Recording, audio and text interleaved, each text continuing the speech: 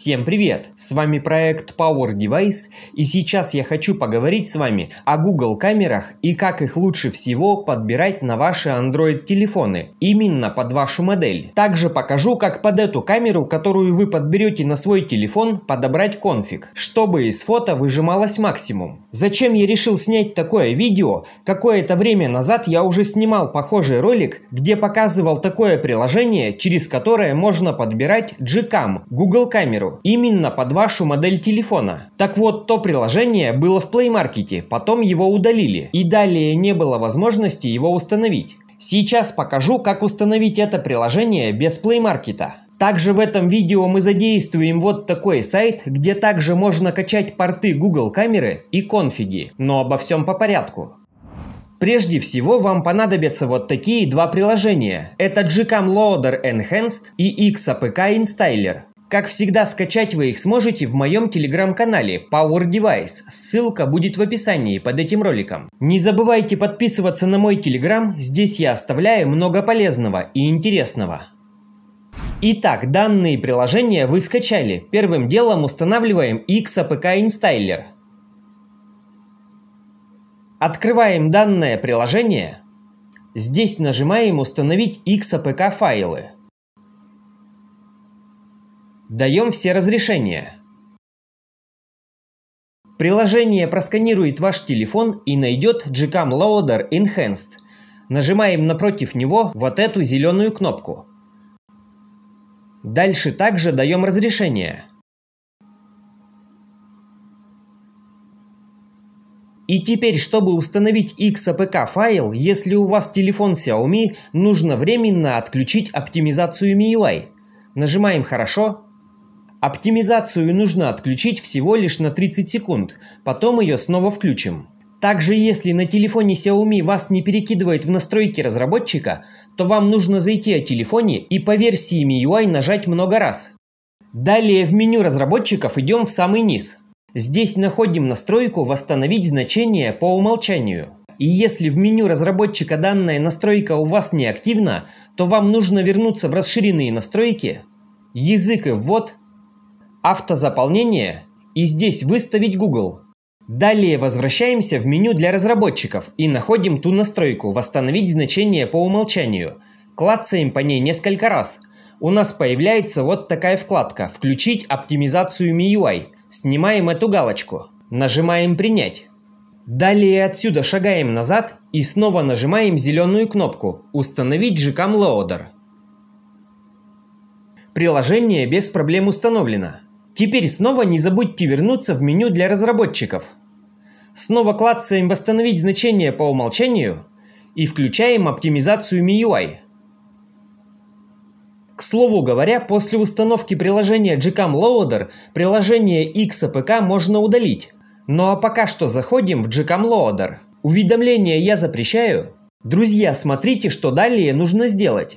Если ваш телефон поддерживает нужные Google камеры, то ваше устройство определится вот здесь, как у меня. Также у вас будет написано «Камера 2 APA включено». Здесь мы можем увидеть всех разработчиков, которые выпускают порты для Google камеры. Но нам нужен именно вот этот пункт – Suggested Version. Именно этот порт Google камеры подбирает это приложение для вашего устройства. То есть вам рекомендуется установить именно эту Google камеру. Для меня порекомендовали для моего устройства Google камеру 8.8. На этом этапе, друзья, если вы уже сталкивались с Google камерами, то вы должны знать, что ее нужно подбирать индивидуально для вашего устройства. То есть вот эти камеры можно скачивать и проверять, как они будут работать на вашем телефоне. Например, я нажимаю «Скачать вот эту камеру». Меня перекидывает на страницу загрузки. Нажимаем «Загрузить». Приложение «Камера скачана», можно его установить, но, друзья, не торопитесь его сразу использовать, под него нужно подбирать соответствующий конфиг, чтобы выжать из этой камеры максимум. Итак, камера есть, теперь нужно загрузить конфиг. Раньше, друзья, можно было зайти в Play Market, в поиске написать gcam config и установить вот такое приложение. У меня оно до сих пор установлено. Это приложение также определяет ваш телефон и рекомендует вам какой-то конфиг. Вот он. Но сейчас, друзья, к сожалению, почему-то эти конфиги через приложение не скачиваются. Я нажимаю «Скачать», происходит бесконечная загрузка и ничего не качается. Пожалуйста, отпишитесь в комментариях, если у вас по-другому. В общем, у себя я это приложение сношу, оно не нужно. Что делаем далее? Идем в проводник, в основную папку хранилища, нажимаем плюсик и в ней создаем папку gcam. Внутри этой папки создаем еще одну, confix8. Далее смотрите, в gcam loader мы качали вот такую рекомендуемую нам версию. Она называется MGC. И если мы зайдем, например, в автора BSG, то именно у него и есть MGC. Эти Google камеры делает он. Далее в описании под этим роликом я оставлю вот такой сайт. Это один из лучших сайтов на данный момент, где можно искать порты Google камер и конфиги. Здесь нажимаем разрабы, разработчики. У меня Google автоматически все переводит. Мне нужен разработчик BSG, вот он. Здесь мы можем видеть все порты от Google камер, которые он выпускал. Обращая ваше внимание на то, когда красным помечена камера, это стабильная версия, лучше качать их. Вообще на этом сайте можете поискать себе отдельную камеру. Главное смотрите, чтобы Android был не выше вашего. Мы качали камеру BSG88. Здесь мы ее нашли, нажимаем конфигурации.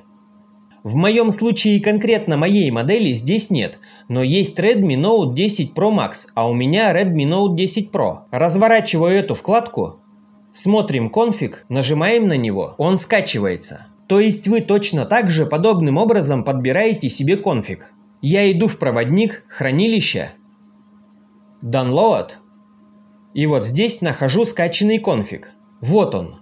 Выделяю его, переместить, внутренний общий накопитель. Здесь мы создавали папку gcam confix8. Переносим его сюда. Теперь иду в Google камеру. Теперь вот в этой области клацаем два раза. В этом меню находим gcam confix8, выбираем его.